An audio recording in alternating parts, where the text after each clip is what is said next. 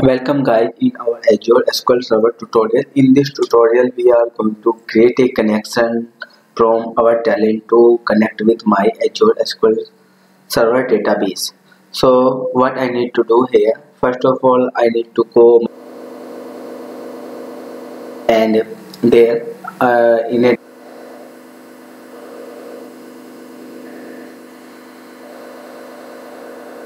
IP address which is going to access my Azure server from Talend okay?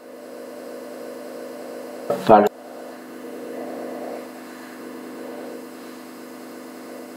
Talend is installed the IP of that particular machine.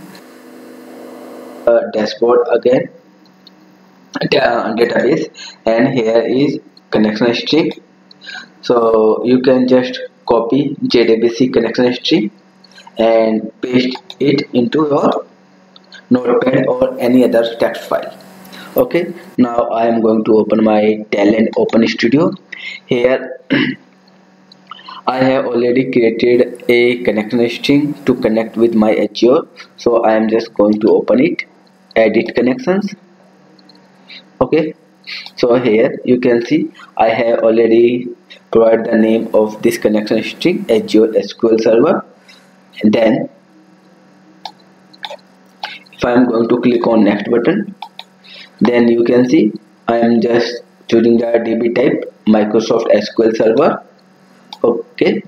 Then DB version open source JD JTDS and then the connection string. You can see this is the connection string which I am just going to use here. Okay.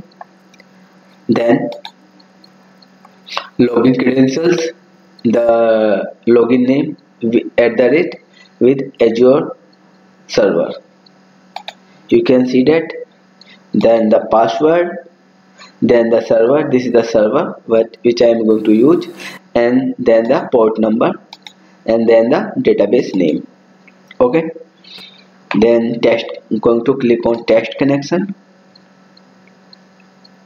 Okay now I'm going to finish it. Okay? Okay? Okay so I'm just going to remove this thing from here and use as a db input. Okay? Click on ok button. Now here if I'm going to click on it you can see the settings okay.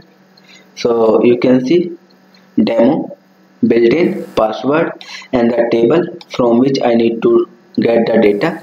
So there are some table tb okay. So here is the data. So uh, which is the table name? I'm just, just going to use tb sales tbl sales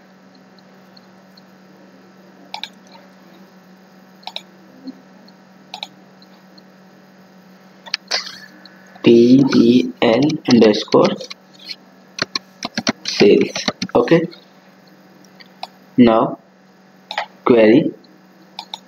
Select you can write the select statement. Select or you can use the guess query. Okay. And get schema. Guess schema. So first of all there is the I'm just going to pull the data and that is the demo SQL and this is the TB sales click on OK button. Okay now if I'm going to run this what will happen?